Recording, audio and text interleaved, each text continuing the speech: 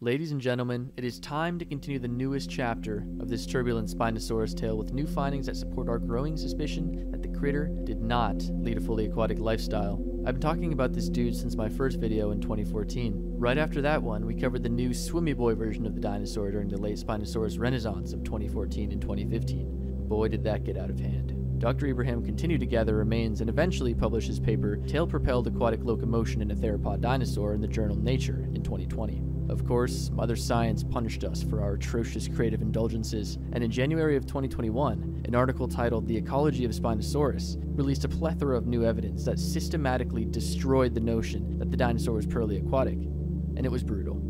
To begin, their nostrils were posteriorly retracted but not dorsally retracted. In other words, nostrils were far back to help them breathe while their snout was underwater, but not on top of their head to help them take a breath after being submerged. High tooth regrowth rate suggests they ate hard, slow-moving animals like crustaceans, and microwear analysis and tooth shape places them into the category of grasp smash, grasp crunch predators, which hunt these armored slow animals. Their putative sensory system on their snouts was not unique to semi-aquatic animals, since it has also been found on animals like Neovenator and Daspletosaurus that have no aquatic connection. Neuroanatomy of the skull of Irritator, a large spinosaur, showed that the animal had a head-down posture showing ease of vertical movement, which would be important for a wading lifestyle but not a pursue predator one. Since they're closely related, the authors are inferring that Spinosaurus is the same way. Spinosaurus had a long neck built for lunging movements, not a short one for quick underwater movement. Analysis of neural connectors in the tail show a lack of tail muscle used for swimming found in crocodilians and monitors. Quote, the hind limbs of Spinosaurus do potentially provide evidence for aquatic locomotion and even striking at prey underwater, but specifically not in the sense of pursuit predation. Their diets were fish as well as pterosaurs and terrestrial dinosaurs. The authors reference a 1988 study that says that no semi-aquatic animal can survive solely on fish. In other words, you spend your whole life in the water hunting fish, or you do what the Spinosaurus did and wade and hunt.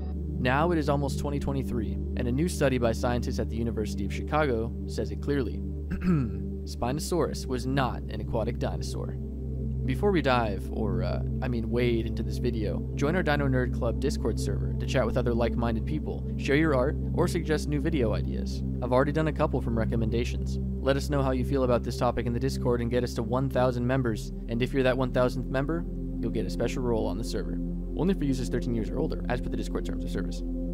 So what might we find in a study titled, Spinosaurus is not an aquatic dinosaur? Hmm. Dr. Paul Sereno, a professor at UChicago, lead author of this study, and notably a co leader of the original 2014 paper, reviewed the previous findings, and what he found was interesting. The old paper theorized that the animal's dense bones were a ballast to submerge the creature in the water, and the previous software model showed the animal's center of balance to be forward, causing it to walk on all fours. However, Dr. Sereno says, I love to make mistakes, especially when I can correct them myself.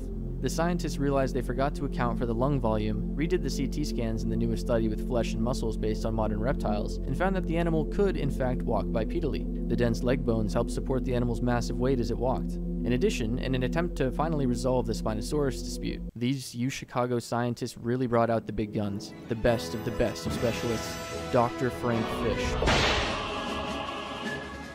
The expert and frankly the authority on anything tail related. Based on the new spino tail discovery, Dr. Fish calculated the propulsion power of the animal and concluded that Spinosaurus' swimming ability, tail, feet, and all, would be, quote, an order of magnitude less than that of an alligator, end quote. Alligators and crocodiles tuck in their limbs when swimming, while Spino's legs would dangle. The huge sail and dangling limbs, coupled with the fact that its body is too rigid to wiggle through the water, caused immense drag. The team estimated it to have swam at a maximum velocity of 1.2 meters per second, much less than what we see with other extant large bodied pursuit predators. They also determined that Spinosaurus was an unstable swimmer, unable to right itself.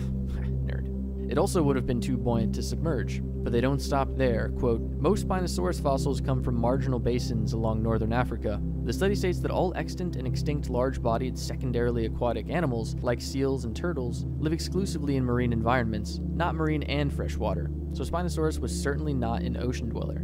Instead, quote, the fossil record supports our interpretation of Spinosaurus as a semi-aquatic bipedal ambush predator that frequented the margins of both coastal and inland waterways. Overall, the study had 13 principal conclusions, shown here if you want to pause the video and read them.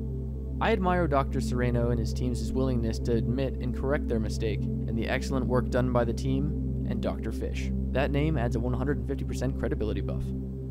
So what can we take from all of this?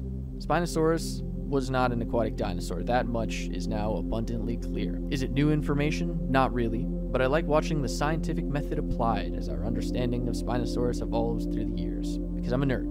Never be afraid to challenge something in science. It only seeks to uncover more about how we perceive the natural world.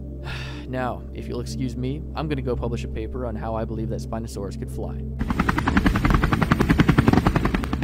As always, thank you for watching remember to keep an open mind, and I'll see you next time.